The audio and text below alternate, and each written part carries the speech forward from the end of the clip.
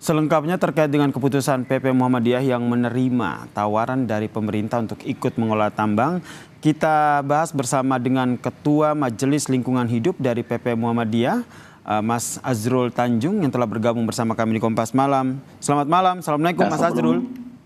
Sakit sama mau Mas Azrul? jadi ketua ranting aja. Abang mantan ketua ranting loh.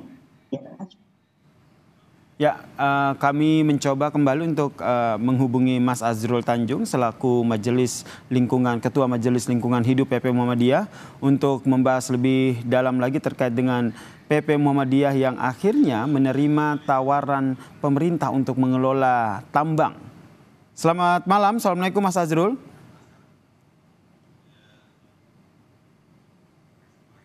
Mas Azrul. Masih Pak Haidar. Mas Azrul mendengar suara saya?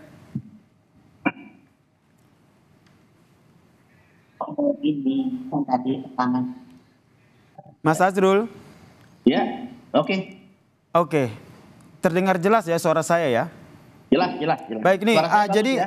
Oke, okay, jadi uh, alasan sebenarnya nih apa nih? Akhirnya PP Muhammadiyah menerima tawaran dari pemerintah untuk ikut mengelola tambang. Di tengah memang okay. kalau kita lihat nih banyak pro dan kontra juga nih terkait dengan uh, tawaran ini. Ya, alasan yang sebenar-benarnya ya. Hmm.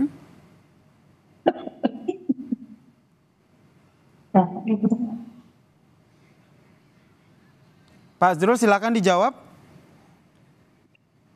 Oh, ini sudah nih. Sudah, sudah, sudah. Baik.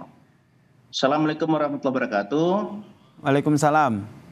Teman-teman Kompas TV yang saya hormati, memang dua hari ini kita berpikir keras ya Muhammadiyah di tingkat pimpinan se-Indonesia uh, tentang tambang atau konsesi tambang yang diberikan hak istimewa oleh pemerintah. Nah, memang ada kesan di masyarakat mm -hmm. Muhammadiyah yang tadinya menolak tiba-tiba menerima.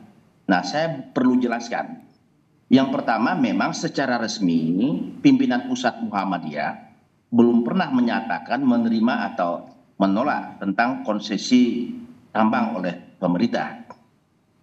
Nah, memang opini di masyarakat, eh, terutama di media sosial, mengesankan Muhammadiyah sudah menerima.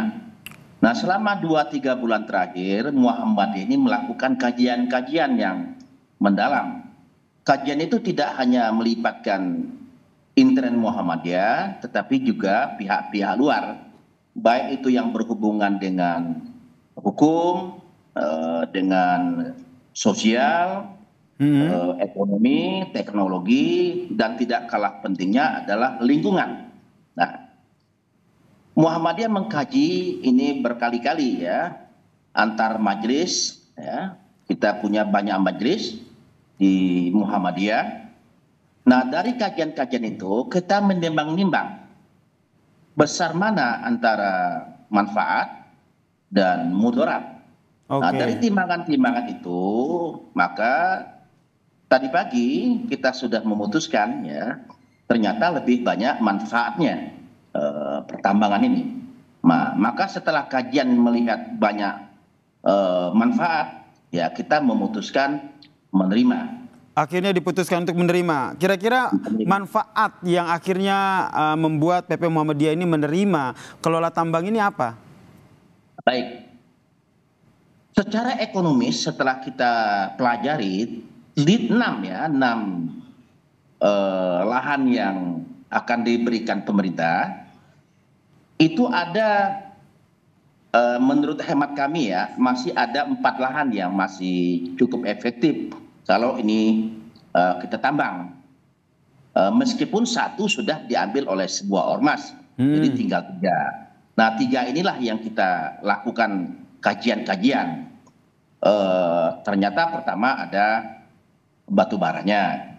Hmm. Yang kedua kita akan menambang tentu dengan cara-cara uh, yang sesuai dengan uh, konstitusi ya Nah, apa yang dimaksud dengan cara-cara konstitusi Hmm. atau peraturan perundang-undangan?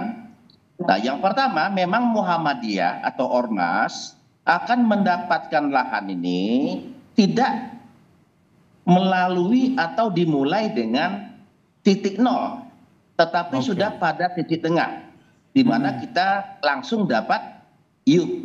Nah, dapat iup itu memang konsesi dari lahan yang sudah disisikan dari pemilik lahan sebelumnya. Nah, artinya ada separuh energi yang sudah tidak tidak perlu kita keluarkan lagi. Yang kedua, kita lihat manfaatnya. Ya, ini cukup besar secara ekonomis. Nah, yang ketiga, kita bisa memanfaatkan potensi-potensi yang ada di Muhammadiyah. Apa misalnya potensi yang pertama itu kita punya eh, majelis eh, pemberdayaan masyarakat yang Hmm. sudah cukup eksis di masyarakat. Nah, majelis inilah nanti yang akan mengantisipasi berbagai persoalan di masyarakat. Misal, kita akan merelokasi masyarakat dari lahan tambang ke lokasi baru. Nah, insya Allah Muhammadiyah akan siap dengan majelis pemberdayaan masyarakat. Kemudian dari sisi ekonomi, kita melihat ini masih cukup bagus. Nah, nanti kita menginventaris ternyata cukup banyak eh, kader kita yang berbisnis di Oke. bidang pertambangan. Hmm. Kemudian yang ke ketiga atau keempat saya lupa. Oke. Nah kita juga punya majelis lingkungan lingkungan hidup.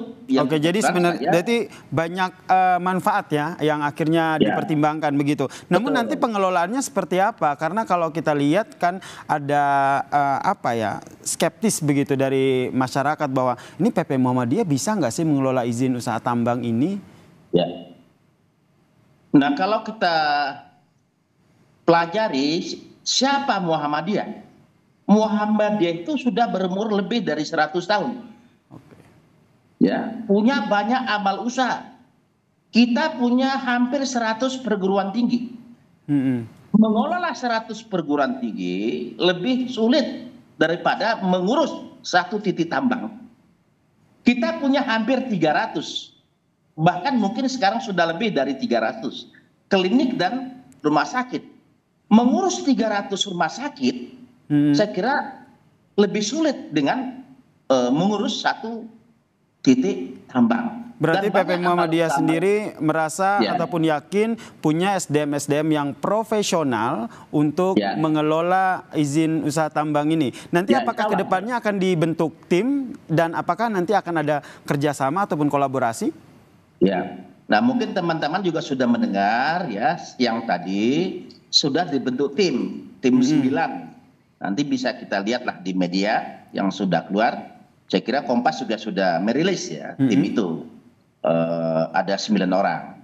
Nah, tim inilah yang nanti akan merumuskan bagaimana tambang yang akan dilakukan oleh Muhammadiyah dari segala aspek ya dari segala aspek legalitasnya, ekonomi dan bisnisnya, lingkungannya, sosial dan Hmm. lain sebagainya. Nah sehingga eh, kita melakukan penambangan ini betul-betul dengan persiapan yang matang. Baik. Kenapa? Nah, karena tadi saya katakan Mm-mm. kita tidak ingin tambang ini menimbulkan mudarat, tetapi Oke, menimbulkan baik. manfaat. Baik, baik. Nah ini yang kita harapkan bersama ya, eh, PP Muhammadiyah yang sudah menerima izin kelola tambang ini benar-benar bisa dikelola untuk hal-hal yang baik begitu, tidak ada mudaratnya begitu. Kita nantikan bersama seperti apa langkah selanjutnya dari PP Muhammadiyah setelah menerima pengelolaan tambang dari pemerintah. Terima kasih Ketua Majelis Lingkungan Hidup PP Muhammadiyah, Mas Azrul Tanjung telah bergabung bersama kami di Kompas Malam. Salam sehat Mas Azrul. Oke, terima kasih. Assalamualaikum warahmatullahi wabarakatuh. Waalaikumsalam warahmatullahi wabarakatuh.